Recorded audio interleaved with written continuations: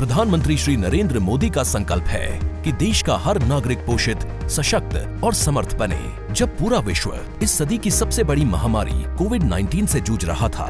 उस दौरान प्रधानमंत्री श्री नरेंद्र मोदी जी के नेतृत्व में भारत सरकार ने प्रधानमंत्री गरीब कल्याण अन्न योजना का संचालन कर देश के गरीबों की खाद्य सुरक्षा सुनिश्चित की। इसी संवेदनशीलता को जारी रखते हुए आज 80 करोड़ ऐसी भी ज़्यादा लोगों को मुफ़्त अनाज दिया जा रहा है। सभी को अनाज, पोषित समाज।